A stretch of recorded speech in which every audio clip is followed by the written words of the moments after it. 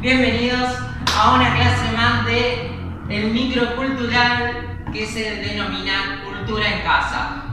Hoy eh, me presento, soy el profesor Ignacio Aranda, junto con mi compañera Cristina Estopielo.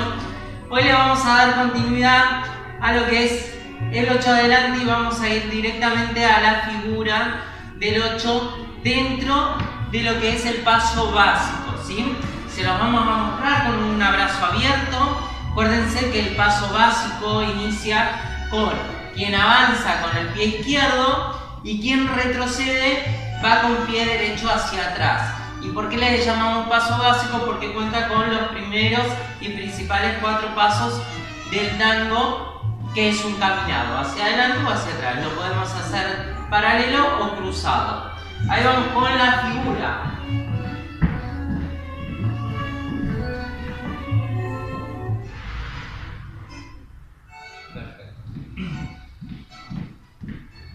Bien, nos vamos a ubicar con nuestra compañera o compañero, ¿sí? De frente, ¿sí? En este caso yo voy a dar el paso hacia adelante y ella hacia atrás.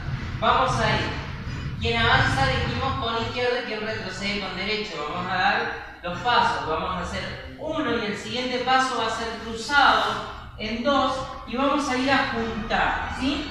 Ya acá nos ubicamos en paralelo. ¿Qué sucede acá? Ese pie que fue a apuntar en el caso del varón el izquierdo y el derecho en, el caso de la mujer, vuelve hacia delante de ella y el varón hacia atrás. En el caso de quien realiza el 8, en este caso va a ser la mujer y nosotros nos quedamos en esta figura cruzada. ¿Sí? Bien, se los voy a explicar a, a qué me refiero. Cuando vamos a avanzar uno dos cruzo a mi compañero, salgo de la línea, voy por afuera, voy a apuntar a la base y vuelvo. Y me quedo en esta figura. Solamente voy a hacer el partener de mi compañero para que dibuje los ocho. Entonces, al volver, ya le doy la intención que avance con el primer ocho adelante y luego continúe con el segundo ocho. Cuando sale, juntamos y salimos con el paso básico. ¿Sí? Entonces, repito, Primer paso lineal, salimos en línea de frente. Y el segundo paso vamos cruzado ambos dos. Vamos por afuera, ¿sí?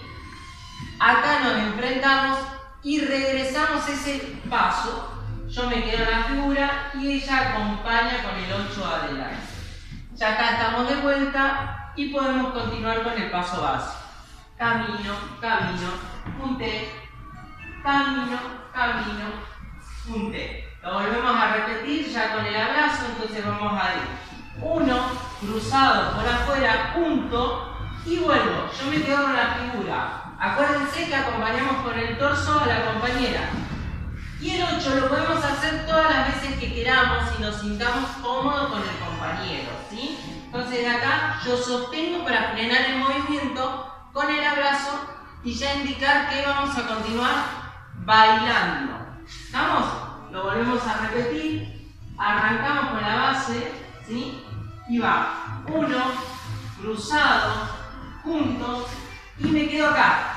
Acompaño un 8, otro 8, todo lo que queramos, sostengo y junto. Ya estamos acá y volvemos a salir. 1, 2, 3, 4. Perfecto. La otra posibilidad que podemos hacer, en vez de llegar a juntar en el paso 3, es amagar. ¿Cómo sería esto? Vamos a hacer uno, cruzo, amago, acompaña ella y acompaño yo, como si fuéramos a dar otro paso. Y acá, acá nos detenemos. Amago y vuelvo hacia atrás. Ella le busca el 8. ¿Sí? Y acá sí tengo que sostener en la base para poder frenar y salir y darle continuidad a otro paso. Yo puedo ir por afuera o por adentro. Y juntamos. Vuelvo a repetir. Amago y regreso.